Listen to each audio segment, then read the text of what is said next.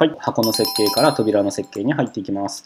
えーと、扉は、えー、前回、えー、その手書きの設計でですね、かまちの枠が 30mm の幅ということで決まりました。なので、まずちょっと材料を追加して、えー、30で、えー、置いてあげましょう。無垢材厚み15の幅20、えー、幅500。これはとりあえず置いてあげましょう。と本体一回隠しましょう。90度。幅を30にしてあります。サイズ、幅30。高さは現物合わせでいきましょうか。はい、えー、現物に合わせていきます。はい、これでスナップしました。えー、そしたら扉の縦がまちがまずできましたよという状態です。で、サイズをこれ、とりあえず内々ぴったりに合わせてあげましょうか。はい、サイズを合わせました。では、えー、まずこれを、はい、これでスナップしました。で、引き戸で大事になってくるのは、皆さんよく DIY で、えー、やるときに、設計するときに勘違いしがちなんですけれども、扉がここにこういう形で、こういうふうに並ぶわけではなくて、この真ん中で合わさる、この縦算というのは、2枚、えっ、ー、と、左と前の扉の3が重なるようにしてやります。はい、これは、えー、と見た目の理由が一つですね。幅が厚くならないようにすっきりすると。縦算をできるだけ、えー、狭くしてやる。えーと、一つはまあその見た目的な問題があるのと、えー、ともう一つは、えー、とその機能性ですね、えー、ここが塞がっていることによってその埃が入りづらいとかそういうことが、えー、とそういうまあ元の設計になってます。ということでこことここが2枚重なるというような形になるわけですね。つまりこの箱の内寸割る2が扉の寸法じゃないということが、えっ、ー、と、初めのうちちょっと理解しづらいかもしれません。ここがポイントですね。ということで、ちょうど今これ真ん中にスナップしてますので、ここが、えー、今この左の扉のちょうど右端になるというような形になります。じゃあこれで合わせて設計してやりましょう。これでまあ扉がまず1枚できました。はい。で、試しにちょっとこれコピーして回こうずらしてチェックしてみましょうか。おかしいことがないか。はい。ここでしっかり真ん中でぴったり重なってますね。はい。で、厳密に言うと、この、え、2枚目の扉というのは、こういうふうに後ろに入ってくる形になります。はい。そうですね。これ、まあ、基本右が前になるんですけれども、今分かりやすくちょっと、とりあえずこういうふうに見ていただいてます。はい。こういう形ですね。2枚がここで合わさって後ろの仕切りを隠してますよという状態になってます。はい。じゃあ一回これ消しちゃいましょう。はい。これで、えー、寸法2枚の扉の外寸が正しいことが分かりました。じゃあ、ここに、えっ、ー、と、実際にここに鴨居と敷を、えー、つけてやりたいと。で、その扉をこうはめ込む式でこうスライドしてやるとという時の、えー、まあ、計算方法に入っていきます。えっ、と、下に突起物と上に突起物をつけてやりたいです。で、下側から上に持ち上げてよいしょと入れてやりたいので、下はそんなに深くなくて大丈夫です。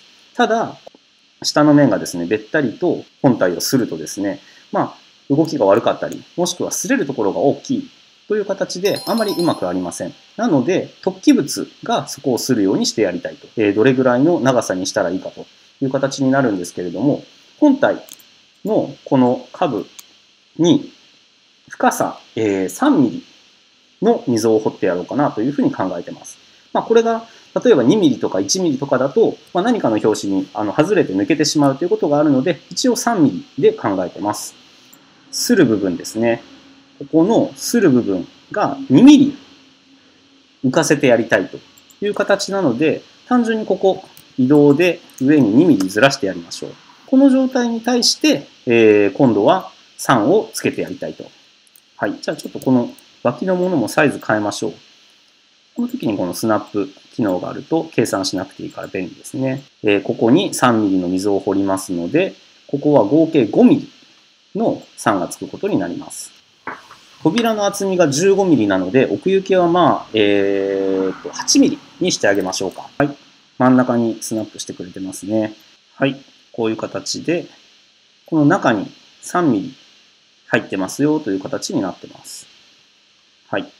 じゃあ今度上はどうしますかと言ったら、これ、えー、と本体が組み上がってから扉を差し込むときに、上がピタピタだと入ってくれません。ですので、ここにもクリアランスを持たせないといけません。えっ、ー、と、何ミリぐらいにしましょうかね。3ミリ、ちょっと、えー、クリアランスを持たせましょう。なので、これを移動します。下に3ミリ。はい。それに合わせて、こちらもスナップ。こちらもスナップ。これは結構、まあ本当に扉のその作る、えー、大きさとか、えここの兼ね合いですね。本体との兼ね合い、あと扉の厚みとかでもそれぞれ変わってきます。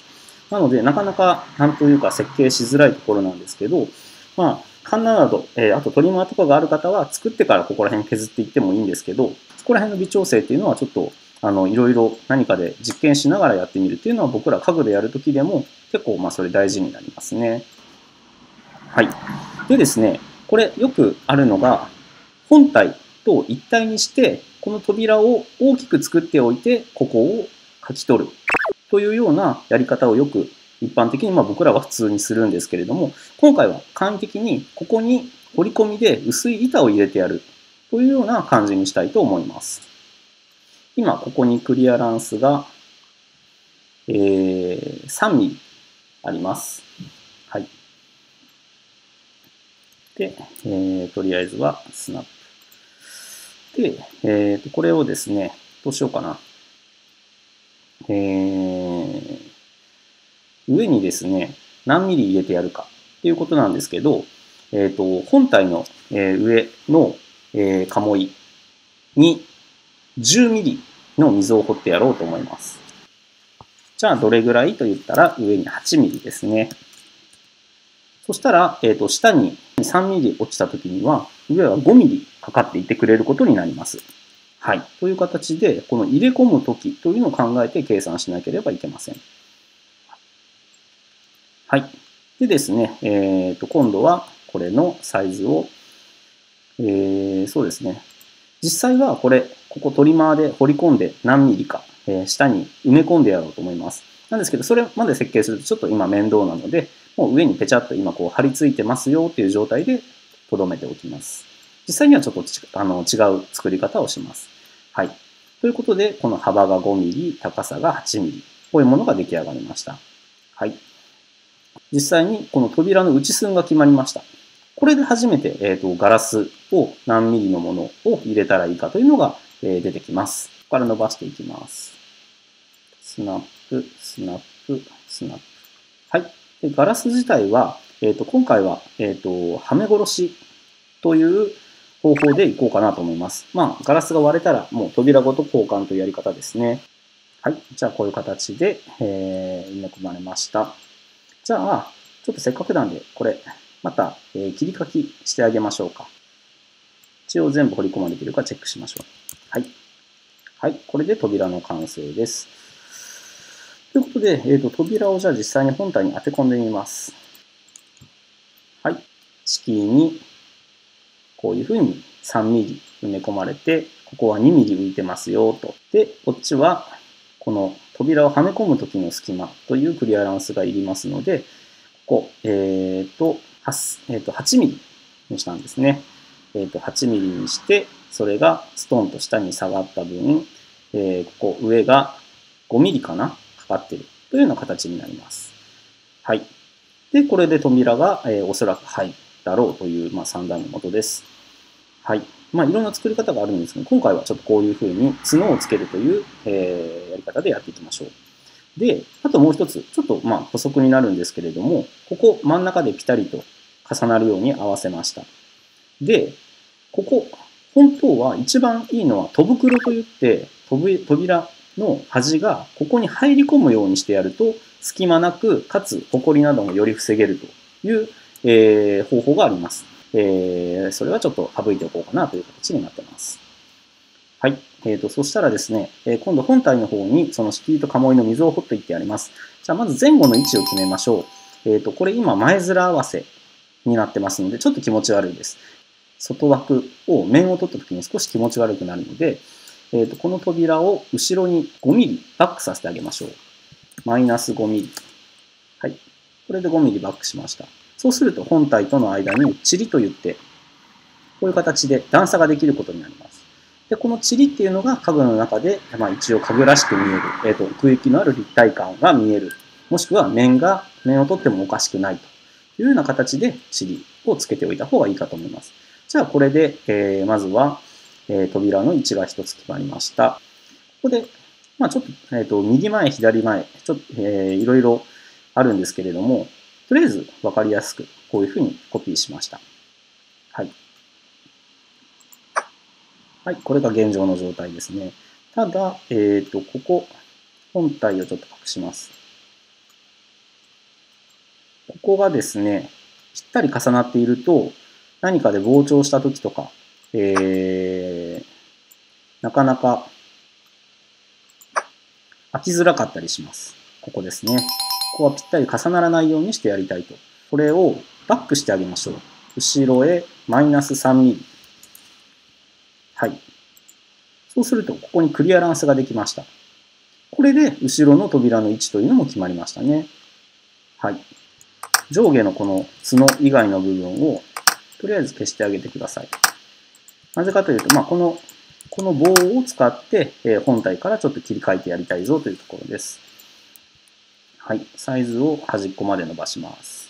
はい、スナップしました。今度は、こちら。横まで伸ばしていくと、はい、またスナップしました。ちょっとここで問題になってくるのは、ここ、はめ込むときのクリアランスですね。で、えっ、ー、と、上は、えっ、ー、と、5ミリの幅の、えー、と3が入りますよということで、ちょっと1ミリずつクリアランスを取ってやりましょう。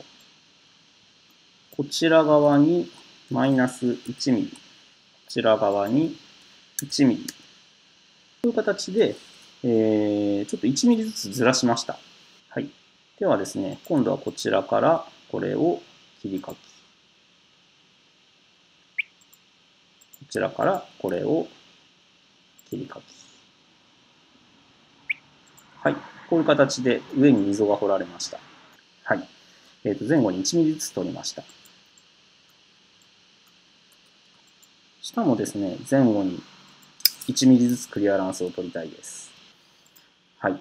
男性、まあ、10ミリの溝が中心、このセンターラインを中心に1ミリ、1ミリ広がりましたよということで、今度はこれをちょっと形状加工してやります。えっ、ー、と、えー、切り書きますよと。はい。はい、こういう形でできましたね。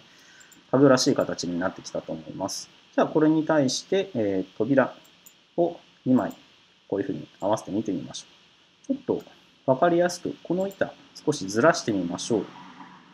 移動します。はい、そうするとですね、分かりますでしょうか。えー、こういう形でクリアランスが1ミリずつ前後にあって、ここに3ミリありますよと、ここは2ミリ浮いてますよというような形になりました。上の、えー、鴨居に関しては、あ、そっか。これもうちょっと掘り込まないとダメですね。えー、そっかそっかそっか。そうですね。これピタピタだと上によいしょとはまらないので、上はこれももっと掘り込んであげないと、えー、ダメです。ちょっとそこだけ後でまあ修正します。これちょっとうっかりでしたね。なので、ちょっとその、えー、と設定だけちょっと後でまた僕やり直しますけれども、基本はまこんな形で、えー、敷居鴨居の溝、あとは扉の角の部分ですね、が設計できますよという形になります。はい。お分かりいただけますでしょうか。で、この時点で初めてこの部材、えー、中の仕切りですね、の奥行きが決まります。で、今多分おそらくこれスナップして、えー、と後ろの扉の方にですね、ピタッとくっついているんですけれども、これだとぶつかってしまう可能性があるので、5ミリマイナスしてあげましょう。はい。で、ここに5ミリ空いてますよとじゃあこういう形で、えー、もろもろが決まりました。でですね、まあ、じゃあこれをもとに、えー、あとは、えー、プリントアウトした設計図を起こして、で、いよいよ制作の方に入っていきます。えー、では今日もご視聴ありがとうございました。失礼します。